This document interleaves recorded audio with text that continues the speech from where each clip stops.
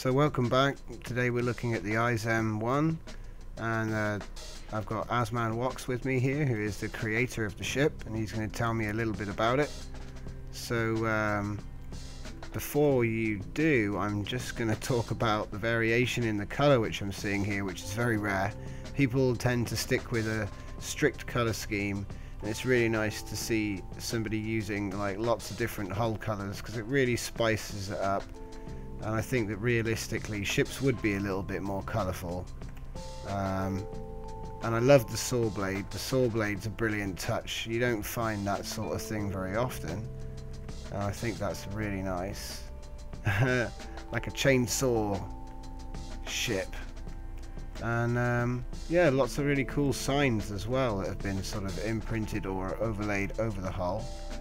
Um, nice antennas around the back here.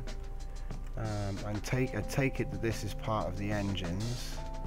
So it's not symmetrical it is actually different on one side. We've got a little platform here with a couple turrets.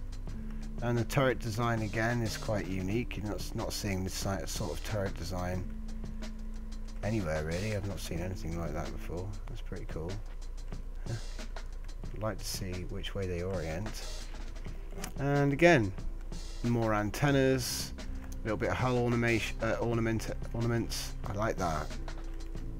And uh, what's this? Is this sand? I think these are blocks of sand. Right, I'm going to have to ask him a little bit about this. Got a runway. Coming around here. Bunch more turrets. Flags. Flags are good. We don't have enough flags. Okay. And uh, writing. And looks like a couple of little rooms and some wiring down here. It's really interesting. There's a lot of detail on your ship. I want to ask you, what's the function of the ship? Does it? Uh, it's a, a run-of-the-mill mining ship. It's a mining ship, of course. So what's underneath this plex door? I'm just over here behind you. What's under here? Uh, there's a whole bunch of docks and such. Oh, do you want to open it up? It, oh wait, what?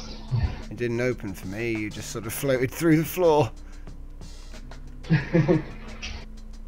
uh, hello. Ah, there we go. Right, cool. We're through. So yeah, this is a huge hangar. I like the runway as well. So launching, whoosh, up.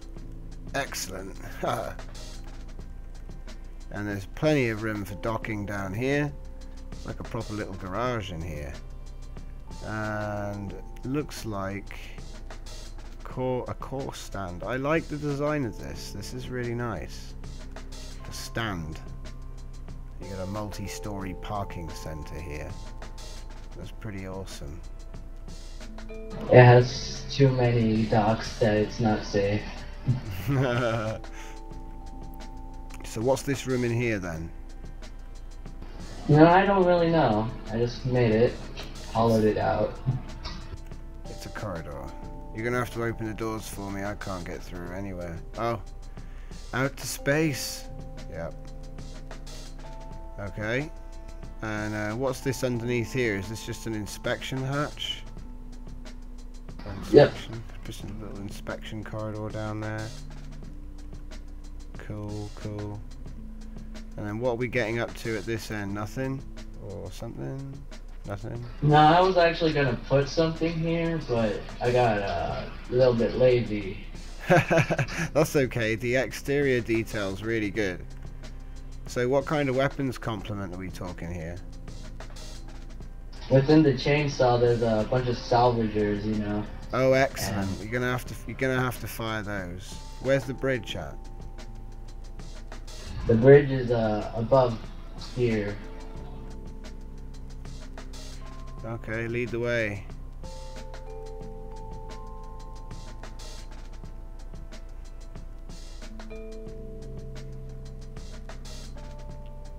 So, as we float along, I'll just take note that he's got a nice staircase down there, leading all the way to the top hatch.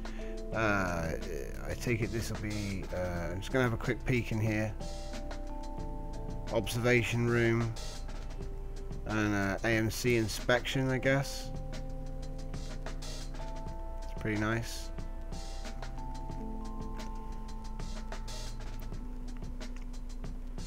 Okay. Oh, and we're going to go in the top then, are we? Nice. Is this sand? Yeah. Alright, nice. I just I was just wondering, that's all. So which end are we going to? This end? Right, okay. Nice little docking area there. What else have we got? Another little way out.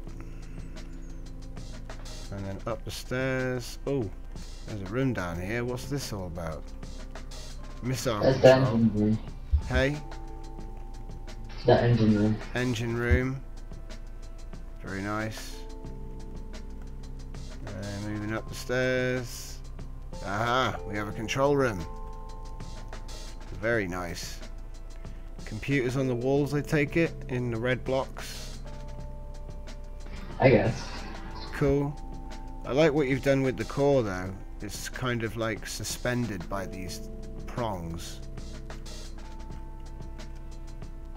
Sweet. Right. Well, doesn't look like I can. Well, yeah, it doesn't look like I like I can look in it, but